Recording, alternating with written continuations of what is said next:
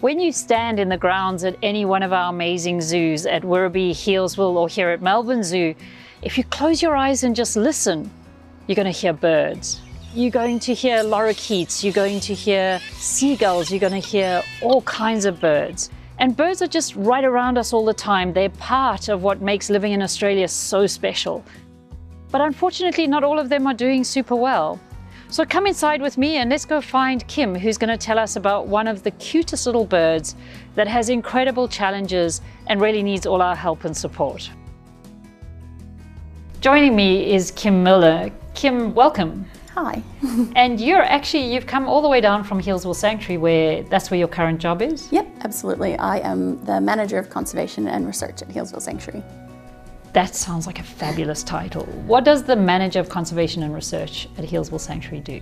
So I manage a team of keepers and at the same time I look after all of our breeding programs for fighting extinction species.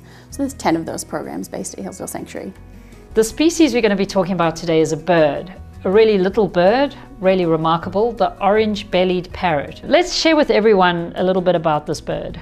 So orange-bellied parrots are certainly one of those species that is right on the brink and has been for a very long time. So they are a very small bird, they only weigh about 45 grams, and they are a migratory species. So they undertake about 700 kilometres of migration every year. They fly from the southwest of Tasmania all the way up to the mainland in Victoria and South Australia each winter, and they spend their winters on the mainland and then fly back to Tasmania to breed.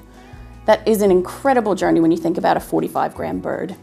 One of the key challenges for their conservation is that that rate of migration, so how many of those birds successfully complete that migration journey, has actually been very low in the last decade or so, and that has resulted in very few birds in the wild.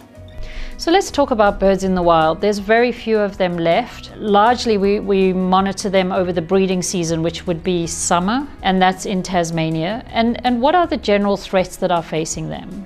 So there's a range of really um, interesting and complex threats, but ultimately that reason for their decline is really unknown. So we know what sort of the symptoms are, but we don't necessarily know what those root causes are. So as I said, that return rate is um, significantly lower than it was historically. Right.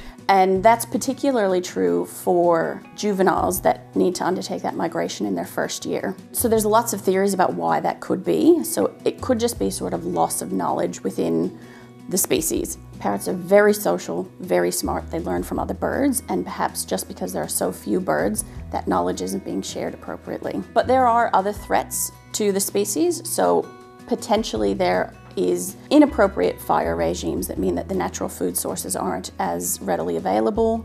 There are some potential competitors, other bird species that may interfere with their breeding success. And for any wild species, particularly one that is so small, there are always long-standing threats of inbreeding for those populations. So very little bird, big challenges, having to migrate long distances, all kinds of environmental threats.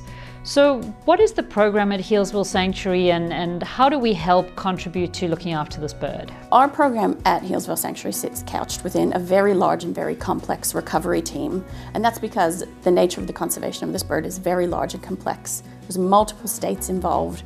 There's a really extensive captive insurance program mm -hmm. um, where birds are bred each year at institutions across Australia and released to the wild every year.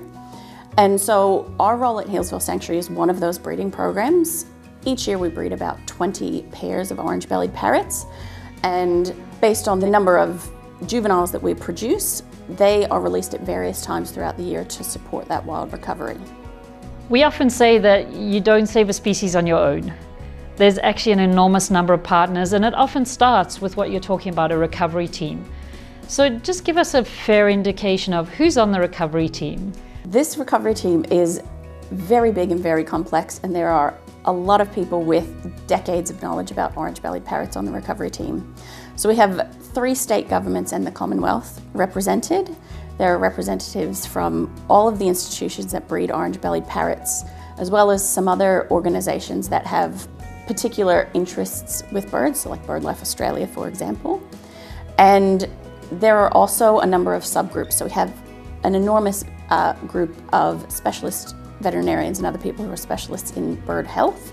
There's a group of specialists in captive management of birds, as well as another group of researchers and um, field biologists who uh, help to coordinate all the activities. And another key contributor to that recovery team is the Friends of the Orange-bellied Parrot, who are a major assistance for that monitoring of birds. What a great example of how many different organizations can all contribute to the success. What are the quirky things that we've been able to do? Is there anything unusual about this program? So within the last, I'll say five years or so, we've tried some really novel approaches to um, trying to increase that rate of migration of birds. So a couple of the things that we do that we've been involved with at Healesville Sanctuary are releases of juvenile birds as soon as they fledge from their parents, pretty much. So within about three weeks of leaving the nest, we want them released to the wild. And that's based on the principle that um, they might actually build stronger flight muscles. They might learn information from wild birds right when they're in that really peak learning phase of life. At the same time, one of the other things that we have done is what we call aided migration, where we know that some birds are not likely to have a great migration uh, for the winter. And so the strategy that's taken is some of those birds from the wild at the end of summer are caught and flown over to the mainland and housed at Werribee Open Range Zoo for the winter. Werribee is very close to where those birds, one of the places where they would naturally overwinter. So then at the end of winter, they're again flown back down to the breeding grounds. Um, and so that actually helps those birds to learn that this is where they should be going and also gives an opportunity to increase the number of birds in the breeding grounds in summer. There's another strategy that we also have done in recent years, which is trying to release birds onto the mainland where they naturally overwinter. And the thinking behind that, which is a really brilliant idea that's come from the recovery team and Zoos Victoria has been really heavily involved with, is that perhaps what's happening is that birds use a social cue to learn where to migrate to. So in theory, if we create a big flock of orange-bellied parrots on the mainland, then young naive birds who've made their first migration might be scanning along the coastline to say, where should I spend my time over winter? And if they get that cue from other orange-bellied parrots who are there, then that may be a signal to them that this is a safe place for me to have my winter. What are you optimistic about and what's your dreams for the species?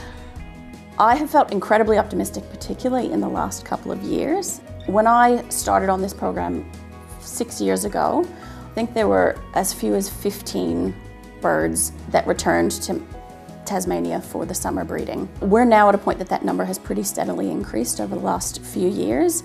And at the end of this uh, recent breeding season, there were more orange-bellied parrots that left for migration than have in the entire history of monitoring. So that is an incredible outcome. It shows the dedication of a huge number of organizations who are all working together, employing various different strategies to try to increase the number of birds.